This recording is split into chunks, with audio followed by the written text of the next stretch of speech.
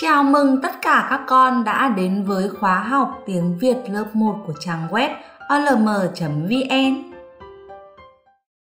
Cô có hình ảnh sau, các con hãy cho cô biết đây là con vật gì. Chính xác, đây là con chó. Và cô có tiếng chó. Đây là cây gì? Chính xác, đây là cây tre và cô có tiếng tre. Chúng mình hãy quan sát tiếng chó và tiếng tre. Trong hai tiếng này có sự xuất hiện của hai âm mới, đó chính là âm chờ trong tiếng chó và âm chờ trong tiếng tre.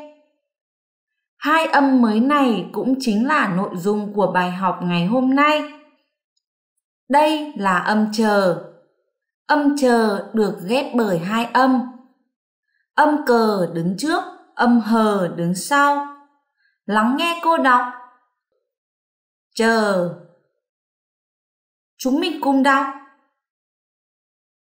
Rất tốt. Đây là âm chờ.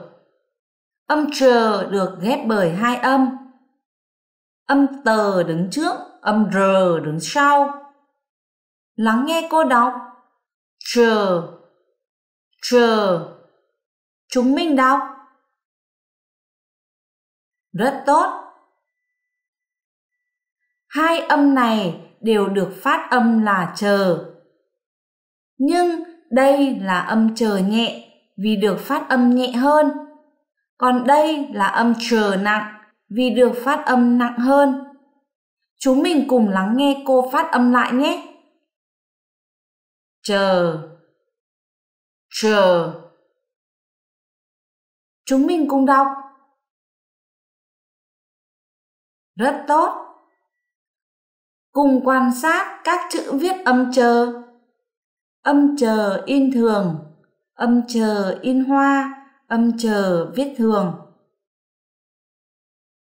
Cô có hai đĩa lê, các con hãy tìm cho cô đĩa lê có các quả lê được ghi các chữ được đọc là chờ. Rất tốt.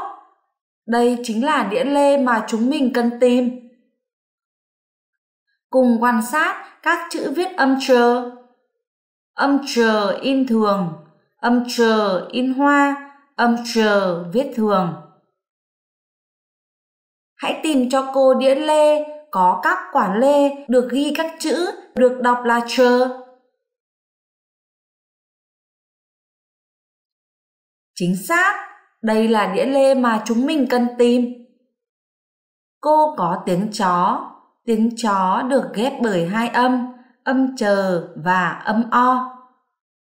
Cô có mô hình tiếng chó.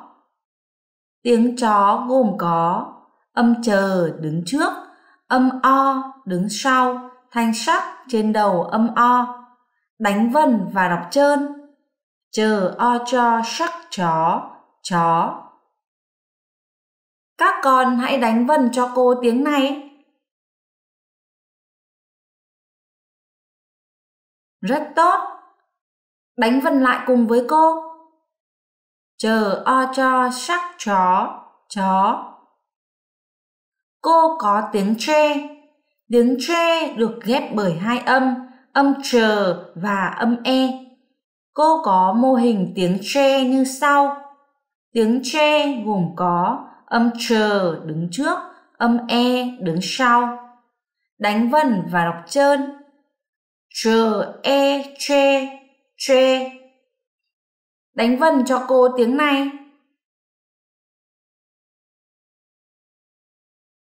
Rất tốt. Đánh vần lại cùng với cô. Chờ e tre tre. Cô có các hình ảnh sau. Cô trò mình sẽ cùng nhau đọc tất cả các tiếng ở dưới mỗi hình nhé. Chờ o cho ngã chõ, chõ. Đây là cái chõ dùng để thổi sôi. Chờ a cha huyền trà, trà chờ y truy ngã trĩ trĩ.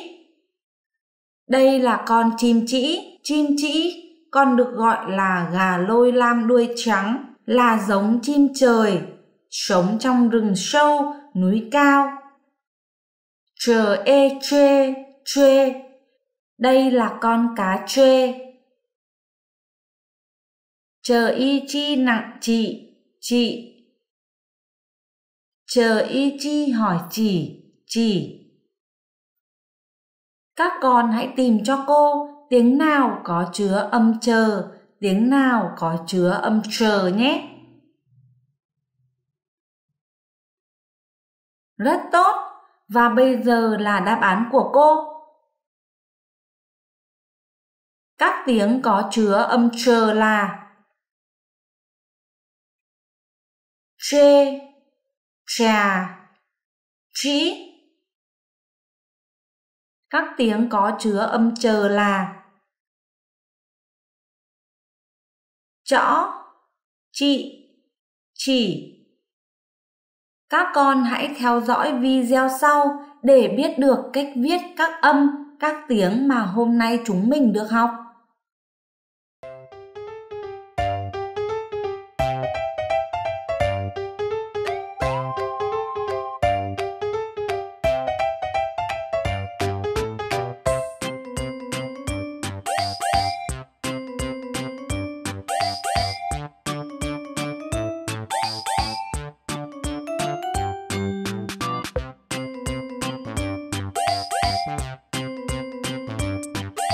Thank you.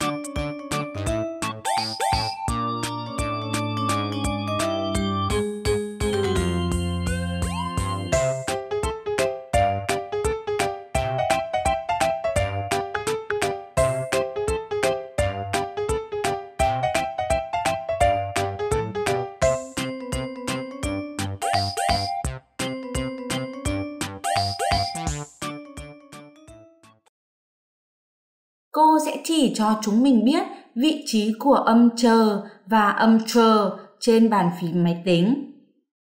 Âm chờ được ghép bởi hai âm, âm cờ đứng trước, âm hờ đứng sau. Âm trờ được ghép bởi hai âm, âm tờ đứng trước, âm r đứng sau. Cô muốn gõ tiếng chó và cô thao tác như sau. Cô ấn vào chữ cờ. Cô ấn vào chữ hờ. Cô được chữ chờ.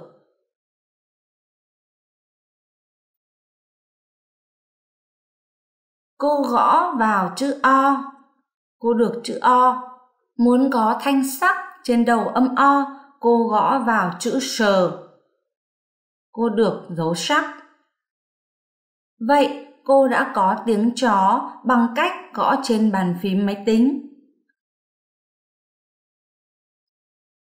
Cô muốn gõ tiếng tre và cô thao tác như sau. Cô gõ vào chữ tờ. Cô gõ vào chữ R. Cô được chữ chờ.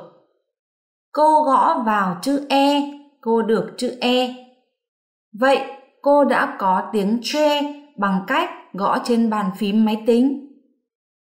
Các con thân mến, trong tiết học ngày hôm nay, cô đã giới thiệu với chúng mình hai âm mới, đó chính là âm chờ và âm chờ. Cùng với các tiếng liên quan tới hai âm này, các con hãy luyện tập thật nhiều để có thể ghi nhớ được chúng nhé. Và tiết học của cô đến đây là kết thúc rồi.